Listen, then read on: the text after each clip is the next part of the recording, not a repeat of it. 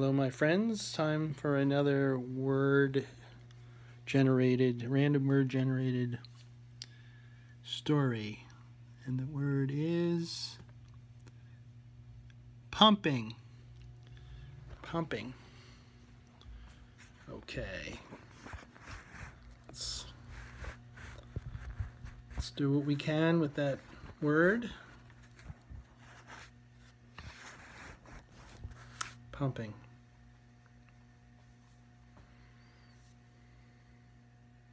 Pumping makes me think of flat tire, automotive. I don't know, there's not a lot I know about how cars work. I mean, I'm not, you know, I'm not like freaked out that they do work. I know roughly how an engine, you know, what, how the, you know, gas cylinders, condensed mixture, spark plug pushes the piston, you know, I okay, and I can change a tire.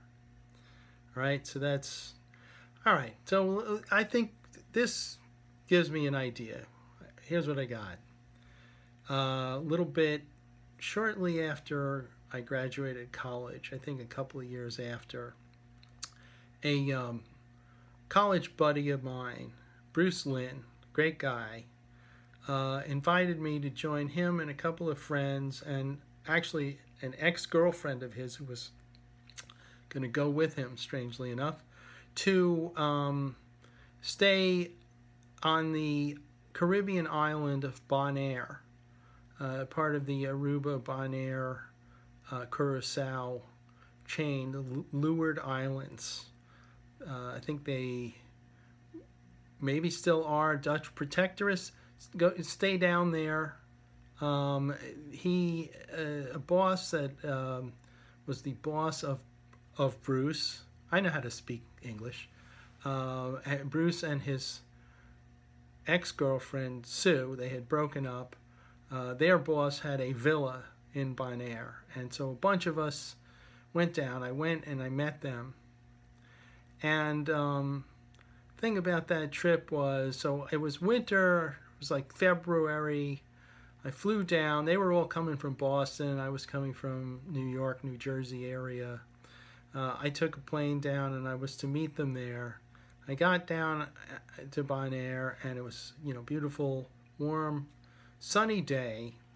And um, I, you know, I, I was uh, holed up at a uh, sort of terrace bar that looked out on the ocean, the beautiful green blue of the Caribbean um, you know, way down in the Caribbean, about 60 miles north of Caracas, Venezuela. So this is about as far south as you could go. And um, I, you know, drinking beers, talking to people at the bar. Some of them had Dutch accents. Uh, just having a, a, a fine time. And um, I kept sort of waiting for them to show up. They were my, my all my friends, Bruce and, and the others from Boston, were supposed to meet me uh, at the bar, and you know the maybe I was supposed to meet them around one o'clock, two in the afternoon. Uh, you know, two o'clock comes and goes. Now it's three. Now it's four. I start looking.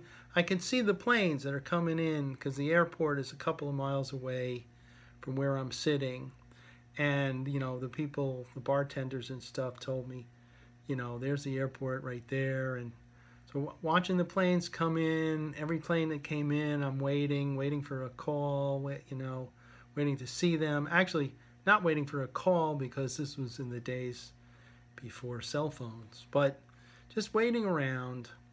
And um, nobody. And and and you know the sun starts to go down and i'm getting quite quite the sunburn, drinking beers there. Uh, kind of befriended people at the hotel that the bar was a part of. Uh, I didn't have a place to stay. I was supposed to stay at this villa with Bruce. Um, so nighttime comes. Uh, I, you know, at some point, I think I maybe even walked to the airport a couple of miles, and turns out the flight was just delayed. It was kind of canceled because the big snowstorm out of Boston.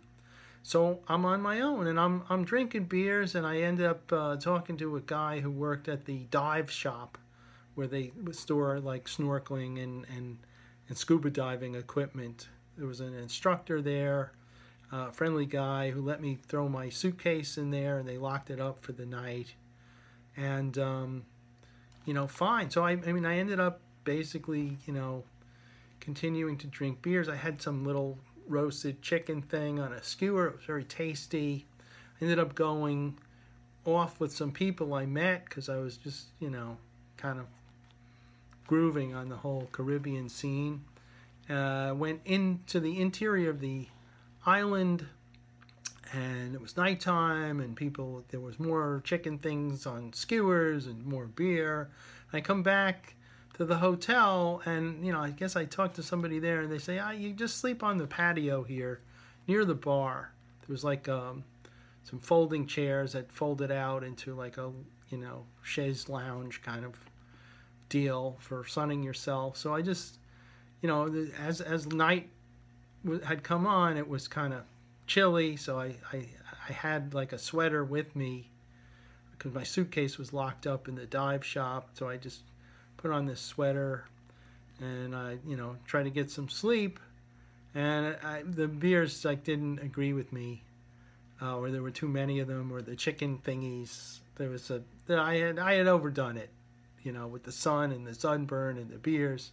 So I, I got up kind of in the middle of the night and uh, and found a low seawall that I just sort of vaulted over and there was sand and I thought perfect a great place to throw up and I did that and um, and then I scuttled back full of like grime and sand to my beach thing and woke up in the morning because waiters I heard this noise and they, they were setting tables all around me I was like sleeping in the middle of a restaurant an outdoor restaurant. Uh, but this is this was inspired by pumping. If you if you have not forgotten, pay attention.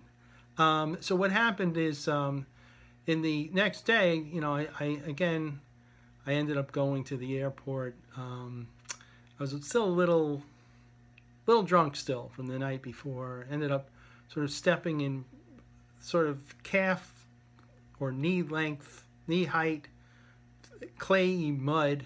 I had long pants on and got them all muddy. Trekked back to the hotel, went to the restroom, took my pants off, rinsed them off. There was a guy there looking at me, you know, wondering what the heck was going on. Uh, these Americans.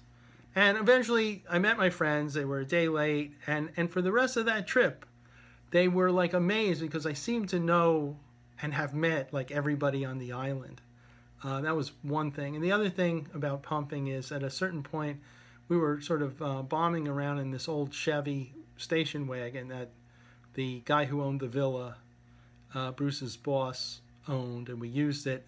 And on the island, you know, everything was like recycled. And at one point, I was driving out to some part of the island for some reason, and um, the car just broke down. The, the fan belt just like failed. It, it broke and some random guy who maybe had worked as a mechanic came along, saw me uh, stranded there on the side of the road. So he, he pulled over and he took out this yellow nylon rope cord and, and, and cut it like the perfect length and like braided it together to make like a fan belt and put it on the thing and um, wished me well. Maybe I gave him 10 bucks. Maybe he didn't want it you know, it was just, um, it was a, it was a pretty pretty good time. Uh, I did some snorkeling. Was happy, really happy to see my friends, and the villa was quite nice. And uh, all that you now have in your repertoire to use as you see fit, which would kind of surprise me, thanks to the word pumping. Cheerio.